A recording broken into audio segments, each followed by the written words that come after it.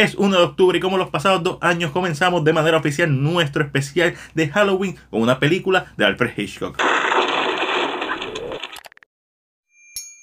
Dirigida por Alfred Hitchcock, Rear Window es un thriller de misterio escrito por John Michael Hayes basada en la historia corta publicada en 1942 y Had to Be a Murder de Corner Woolrich y en el caso real del Dr. Hailey Harvey Crippen. El filme estrenó en 1954 en el Festival de Venecia, recibió cuatro nominaciones a los Oscars y fue la película número 42 en la lista de los mejores 100 filmes del AFI. Además, en 1997 fue añadida al Registro Nacional de Filmes en la Librería del Congreso de Estados Unidos por su valor cultural, histórico o estético. Y en 1998 le hicieron un remake para televisión con el gran Christopher Reeve. Originalmente distribuida por Paramount Pictures, la película está protagonizada por James Stewart y Grace Kelly, una de las rubias de Hitchcock y, en mi opinión, una de las más bellas. Y Rear Window trata sobre Jeff, un fotógrafo profesional que tras un accidente en el trabajo se encuentra postrado en una silla de rueda con un yeso. El filme es mejor conocido por desarrollarse mayormente dentro del apartamento de Jeff y por hacer a su público cómplice del boyerismo del protagonista, ya que el 99% de las tomas son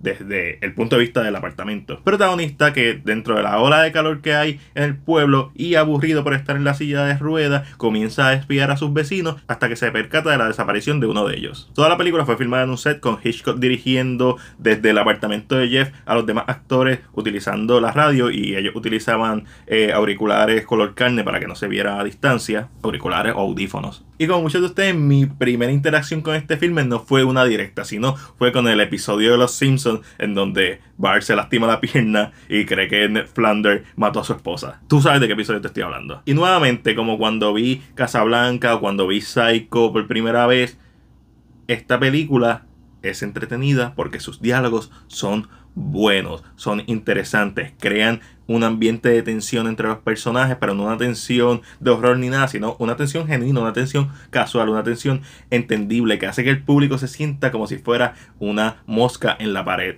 escuchando algo que no debe escuchar. Porque esta es una película bien inteligentemente escrita y contada, ya que su tema principal son las relaciones. En el caso de Jeff, las relaciones y el matrimonio. Todos los personajes de una forma u otra representan un aspecto de esto. Esto se hace más evidente con los conflictos entre nuestros dos protagonistas. Grace Kelly interpreta a Lisa, que está socialite y novia de Jeff, mucho más joven que Jeff. Mientras que Jeff, pues este fotógrafo que no tiene tanto dinero y ellos dos se van a casar, pero él está a punto de cancelar la boda porque no cree que su relación va a funcionar, mientras que Lisa le dice que ella lo ama y que está dispuesta a dejar sus comodidades, cosa que en la escena final pues es dudoso pero hace que todo se vuelva más interesante. Hay una dinámica entre los personajes, hay una tensión entre los personajes que se le suma el evento principal de la historia que es Jeff pensando que uno de sus vecinos mató a su esposa. Y si no has visto esta película, hace un excelente trabajo en poner objetividad versus subjetividad y uno no está 100% seguro hasta más de la mitad del segundo acto si Jeff tiene razón o no. Él se está imaginando las cosas o no. Está tan aburrido que está yéndose a la acción más descabellada o realmente lo que él piensa que está pasando, está pasando. Y aquí es donde entra el jefe y amigo de Jeff, que ellos estuvieron en la guerra. Ven, personajes con capas que uno siente que se conocen desde antes de ver la película. Y él empieza a investigar por su parte, cosa que de Palma hace referencia en Sister con el investigador privado. Y pues el jefe slash amigo de Jeff llega a unas conclusiones y nos pone a todos estos personajes a tener diferentes puntos de vista. Lo cual hace que la película sea una extremadamente intrigante, eh, intensa, todo en esta película, como dije, es desde el punto de vista del apartamento, así que el 99% de las tomas son o desde el punto de vista de Jeff, o dentro del apartamento, o mirando hacia afuera del apartamento. Y quizás una de las críticas mayores que tengo son dos de las tomas que son fuera del apartamento. Una al principio de un helicóptero, que está bien nada que ver, porque un green screen cropiado bien nada que ver. Y sobre todo porque subconscientemente te quita de la inmersión de tú estar viendo sin darte cuenta todo desde el apartamento. Y aún al final que una de estas famosas escenas de Hitchcock de alguien cayéndose y desde un overview point que también se ve cropiada y se ve, se, está, se ve malita me encanta la construcción de set, de este escenario en donde uno ve todos los vecinos. Tenemos a esta vecina que él le pone Miss Torso como apodo porque no las conoce.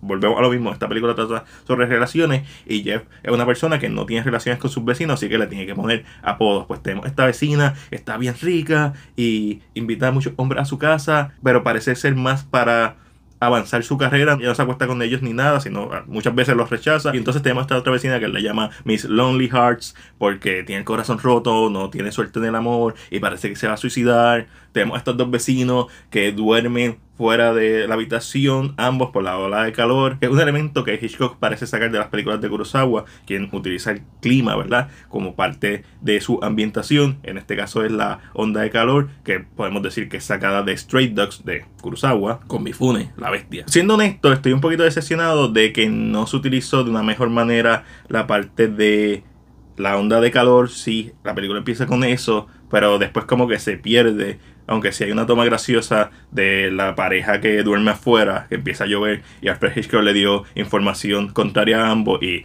pues tú lo ves tratando de, forcejear, metiendo el madre, y una toma que da un poco de ligereza a toda la situación.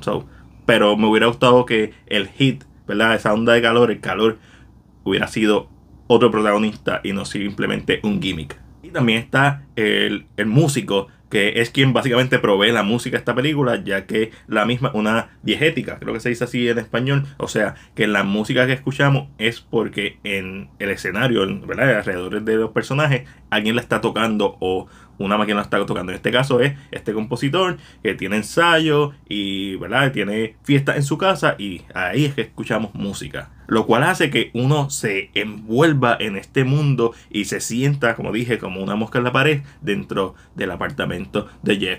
Y la tensión está bien, bien lograda. Y ese último acto final es bien tenso cuando la novia de Jeff Lisa va a investigar y todo lo vemos desde el punto de vista de Jeff. So, él básicamente no puede hacer nada. Actually, en los es Lisa.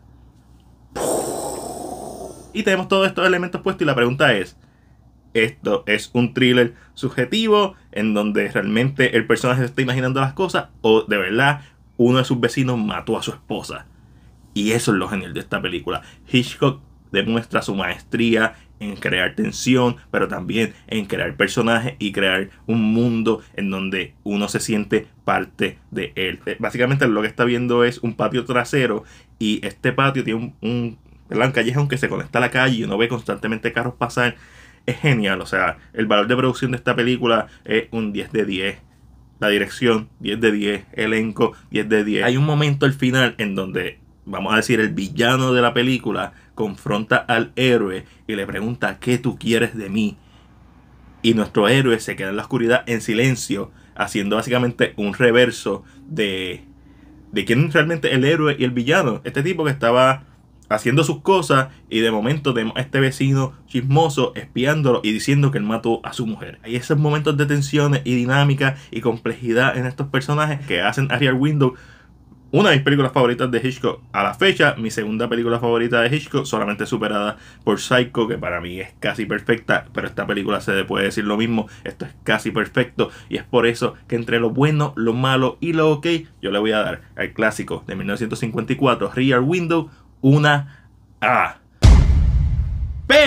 Pero esa es solamente mi opinión. Ahora déjame saber la tuya en la sección de comentarios. Como siempre, si te gustó este video, dale like y compártelo. Recuerda suscribirte a nuestro canal de YouTube y darle a la campana de notificaciones para que no te pierdas nuestro contenido. Este fue Mike de CinePR y será hasta la próxima.